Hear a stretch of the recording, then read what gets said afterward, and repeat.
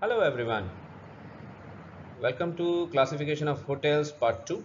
In the first part we had discussed the classification of hotel based on size as in the number of rooms, the location where they're situated and clientele that they cater to. Today we, we are going to discuss about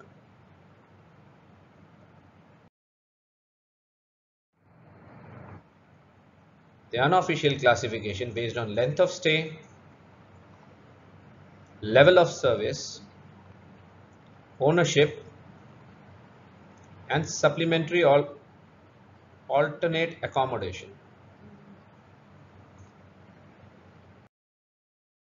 Talking about the length of stay. Based on the length of stay, the hotels can be classified into transient hotels. Transient hotels are stopover hotels.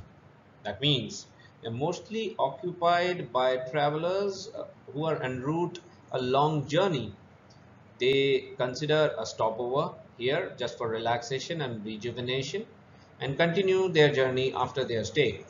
So the stay in transient hotels is very short, maybe a day or couple of days, that's it. Semi-residential hotels. They are generally patronized by people who are staying at a location. The duration of stay may range from a few days to weeks. They incorporate the features of both transient and residential hotels. So we have the queue. The next category is residential hotels. As the name suggests, the hotel provide long-term stay to the guests. The duration of stay may range from several months to maybe a few years. A very common example of such kind of hotels or catering establishments is youth hostels. However, they may also be classified into alternate accommodation.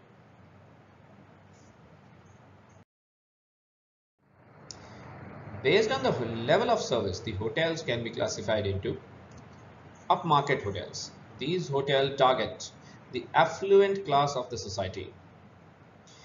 Hence, they focus on excellence and class and provide world-class products and services that are highly personalized.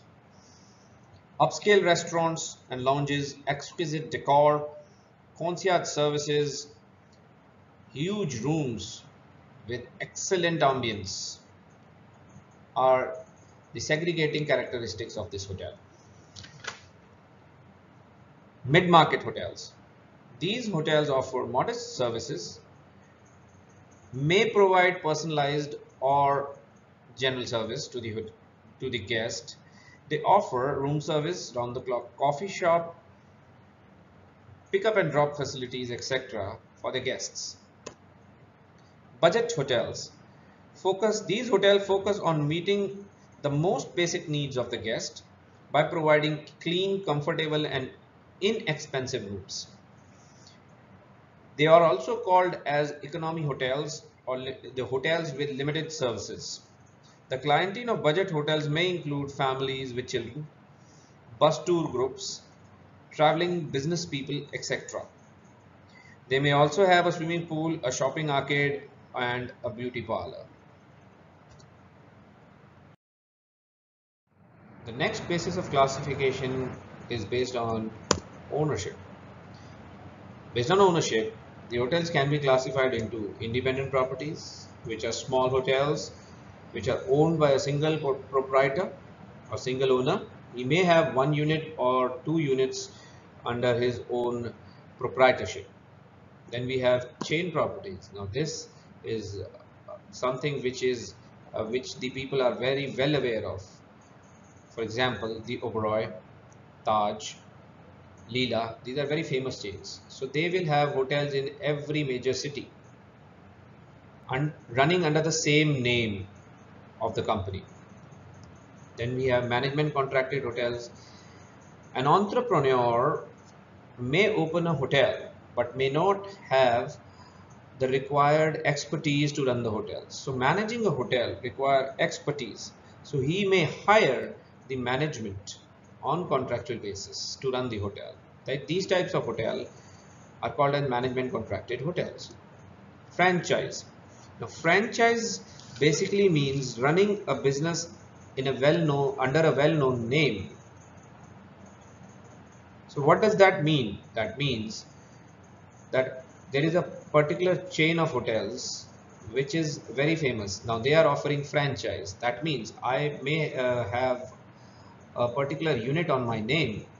However, to gain the business advantage, I want to run it under the established chain's name. So I will buy that franchise on a profit sharing basis under which I will run the hotel on their name using their own rules and regulations and standard operating procedures. That's called franchise. Referral groups. Now these are groups of independent hotels. Now like chain properties can enjoy the reservation uh, benefits by referring to their property sister concerns. Now the independent properties can also form a group. Now this group is called as referral group. They will refer each other for the benefit of reservation. Timeshare and condos. Now they are basically the same kind of properties. However, timeshare is and condos are all about the vacation ownership. In timeshare, we have multiple owners of a single unit and condos are generally owned by a single person. The next basis of classification of accommodation is alternate accommodation. Under alternate accommodation, we have youth hostels as the name suggests. They cater to the youth. The youth on travel due to various reasons like education. Now the youth may not be able to afford the high tariff of a hotel. So these hostels provide them with a low cost boarding and lodging facilities. Railway retiring room. They are present at major railway stations. Retiring rooms are for the convenience of transit travelers who need to proceed for the further journey. They provide resting place to the passengers with confirmed ticket at a very reasonable cost. Dak bungalows. Now, dak bungalows is a legacy of the British Raj. They were the rest houses built for the colonial officials. All these properties have an ageless charm and now they are converted into lodges and accommodations providing boarding and lodging for the travelers. Villa chalet bungalows. Now this is again a kind of bungalows with multiple rooms. Now villa is an Italian concept and chalet is a Swiss concept of the same category. Now these bungalows are now converted into uh, small lodging properties which provide comfortable boarding and lodging to its guests.